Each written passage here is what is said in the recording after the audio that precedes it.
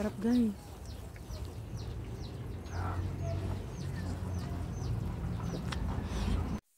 Hi guys! So ayan, welcome back again to my channel. So ayan, for today's video, magbumukbang tayo ng Korean foods. And una na nga yung carbonara samyang natin and itong yupoki cheese with seaweed yan guys. And then, nabili ko to sa Korean store sa Antipolo guys. Ayan. Itong adorable till. Itong hindi ko alam tawag dito eh. Pero ito yung parang ice cream. Yan, Korean na ano, food. So, let's eat guys. Unahin na natin itong carbonara. So, kung gusto nyong mapanood ang ating pagluluto, so let's, let's, let's watch this guys. Ang lutuin natin ay yung carbonara sa amin. Isa lang na natin ang ating kasirola at lagyan natin ito ng katamtaman tubig. Hindi na kasi natin tatanggalin yung tubig na yan. Kaya medyo konti lang at wag masyado madami. At ilagay na natin itong noodles ng samyang. Ayan, ilagay na natin ito. So, hindi ko siya pinutol-putol kasi para mahaba. Para, para masarap siyang um, kainin. Alam, ayoko ng putol-putol na pansit canton sa pansit canton. Ayan, pakuluan na natin at hayaan natin ito na lumambot. At saka ilagay na natin ang Nestle cream. So, nilagyan ko yan para hindi siya masyadong manghang. Kasi kapag wala, medyo manghang talaga siya. Kaya nilagyan ko ng Nestle cream. Ilagay na rin natin ang mga seasoning nito, yung nakalagay sa loob nitong carbonara samyang. Ayan, carbonara flavor niya. And inilahat ko yan kasi masarap yan. And then, halu-haluin natin para lumasa talaga dun sa noodles. And then, ito naman yung spicy. Yan yung nagpapaanghang sa samyang. Then, hindi ko siya nilahat. Kasi maanghang talaga siya. And then, halu-haluin lang natin ito hanggang sa maging ganyan na yung kulay. Then, ayan na. Ready to eat na ito. And then, yung poke naman ang isunod natin. Doon na rin ako nagluto sa pinaglutuan ko. Nilagyan ko na lang ng tubig. And then, buksan na natin itong yupoki. First time ko kakain nito guys na ganito ang luto. Man lang din ang ilagay mo na tubig kasi hindi mo na siya tatanggalin yung tubig na yan. So, ayan yung laman niya, yung yupoki and yung cheese flavor.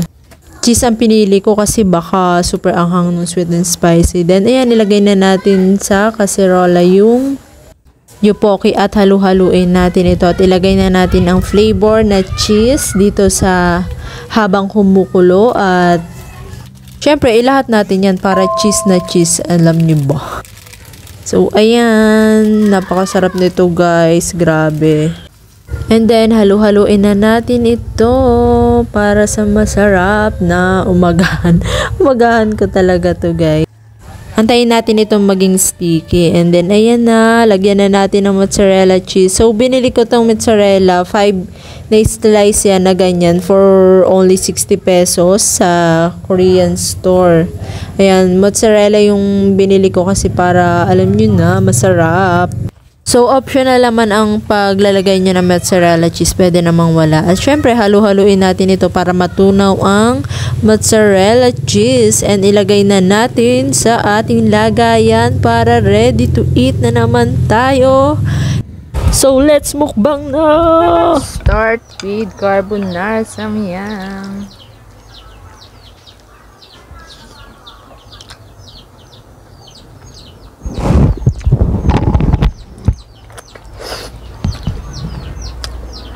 Napakasarap nito guys. Then, itong yupoki. Yupoki. Mm.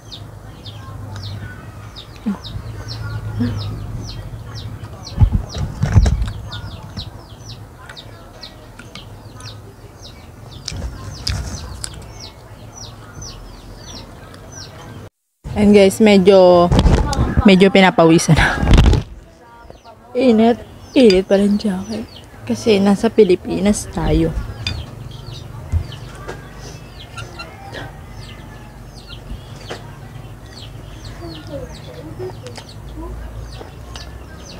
Mm-hmm.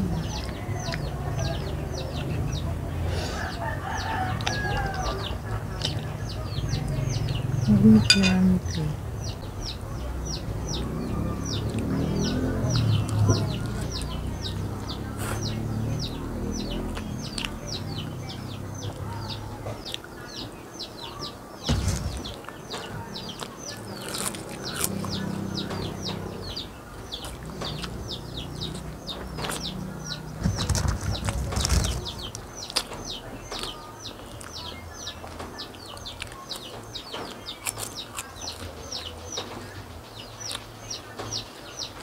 Yup, Poki. Ano pala, sa Antipolo ako bumili itong mga Korean foods. So, mura lang dun, guys.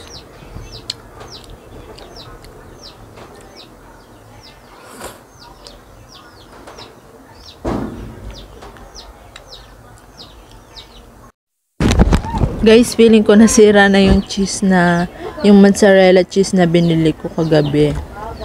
Kasi medyo ano. Medyo maasim tong yupo.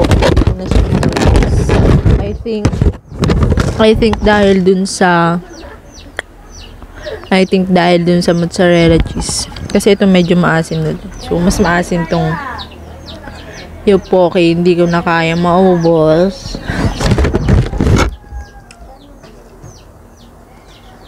Hindi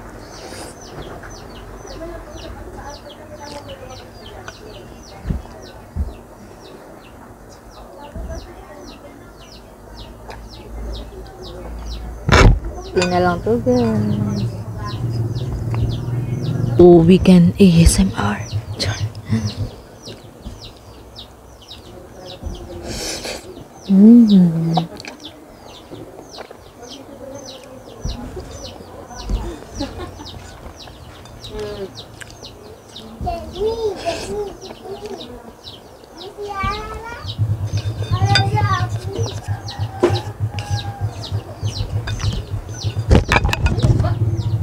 Inom lang ako guys. Inom lang ako guys kasi ah, super anghang niya talaga. So ASMR natin yung ano, yung pag-in.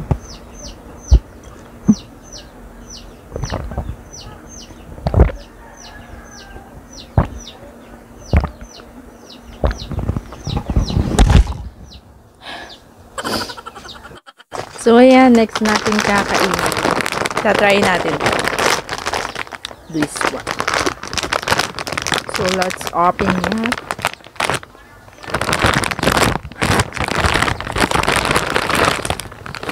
Siyempre yung favorite ko.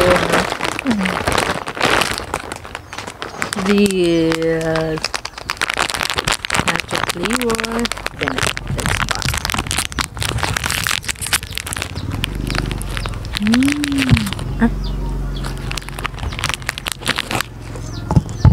Try natin i ASMR.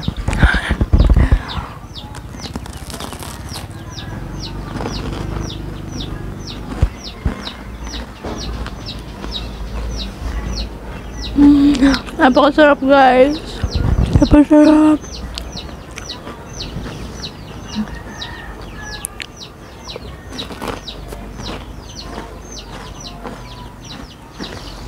Perfect guys.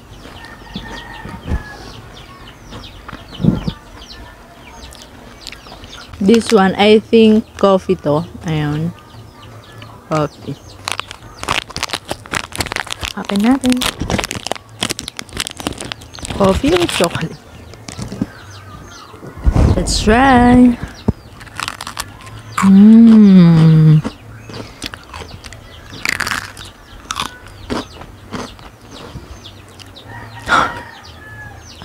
Ang sarap.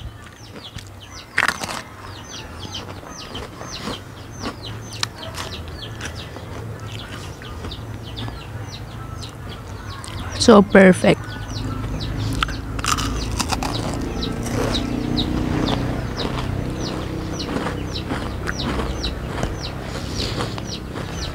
So, ayun guys, that's it. Thank you for watching and see you on my next vlog. Suggest kayo ng vlog natin. So, bye guys!